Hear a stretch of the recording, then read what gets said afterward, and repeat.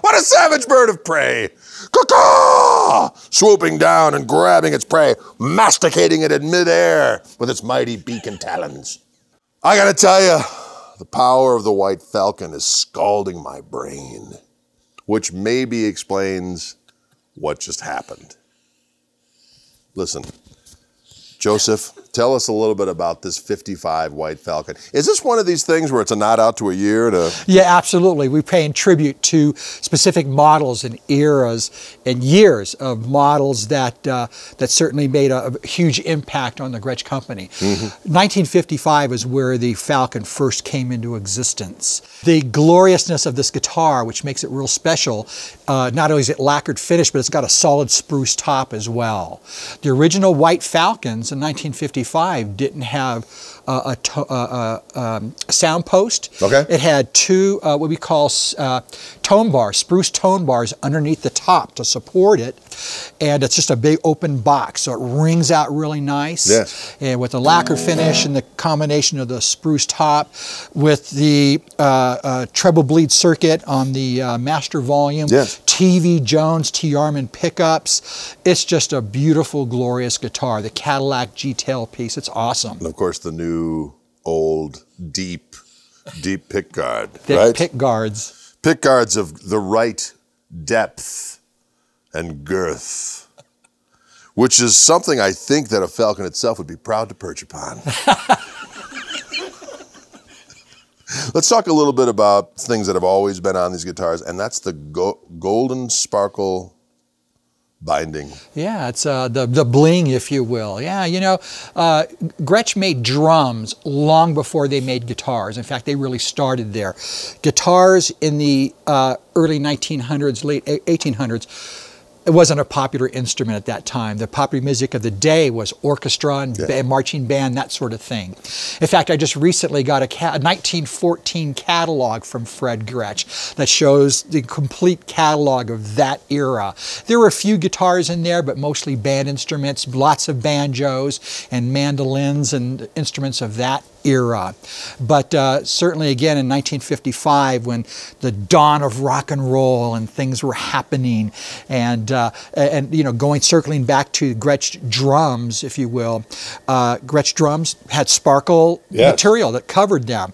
So um, certainly uh, uh, uh, when somebody looked over in the corner and saw some of that sparkle material and went, that would look great on the guitar. In fact, the, the, they made one that they showed at a trade show, the White Falcon, kind of as, it wasn't even an idea to come out with a model, but they had it on display just, just because of the, the look and the rareness of it that was so stunning yes. that at that trade show, people were going, I got to have that guitar.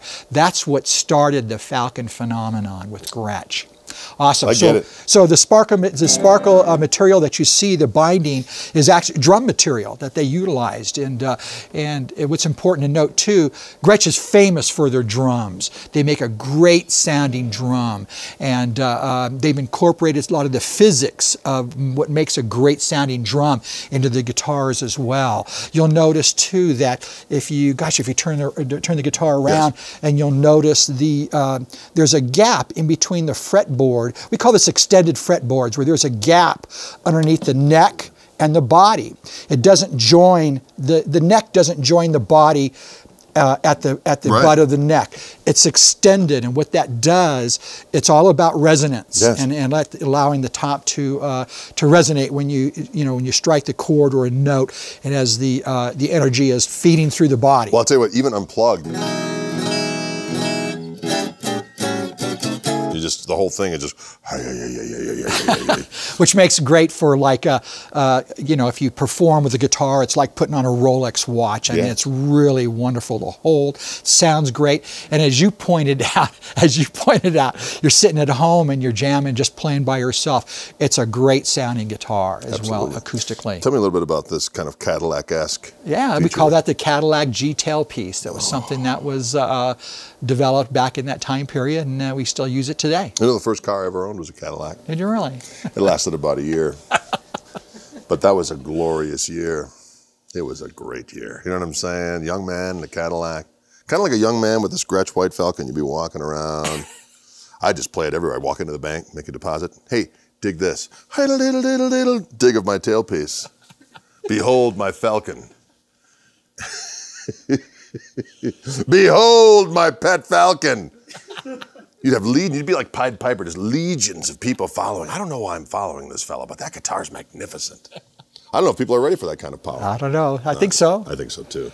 And this is the place in order to fulfill those needs here at Wildwood's. Now, we heard that neck pickup, and I've been trying to give a, a lot of, uh, you know, obviously they're great for chat things and, and the original uh, usages of these guitars, but they're great for a variety of idioms. Uh, middle position on a Gretsch is a great funk position. And, uh, oh, if I could just get it to sound, I better pull off this thing right here.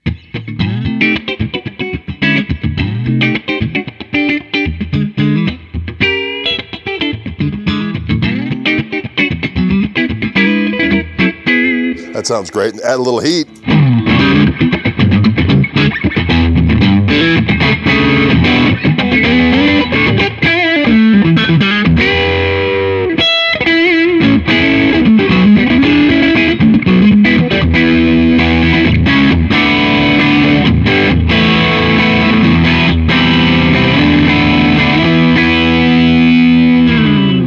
Sounds good. Little bridge pickup action.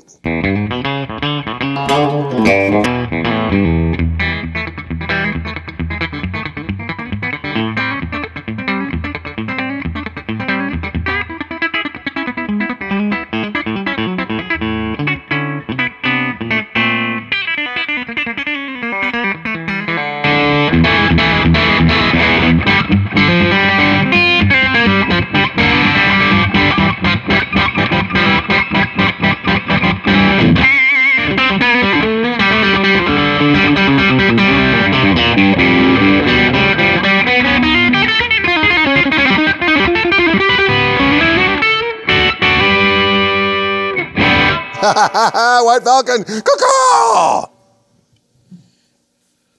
I'm sorry, we, we doing something here? Hey, you know what? Guitars are a mystical thing. They inspire, they take one away. And in these uncertain times, don't we need something we can hold on to and grasp to that inspires us to engage in fiendish musical warcraft? Maybe. You might as well have a White Falcon when you're doing it, ladies and gentlemen. I'm here with Joe Carducci from Gretsch. We're having fun here in the Wildwood Lair. We got a bunch of videos coming out. Yep. We're doing it. We've done 500 videos already today. And they're all coming to you on Wildwood Vision or whatever you're watching this on. We'll see you cats later.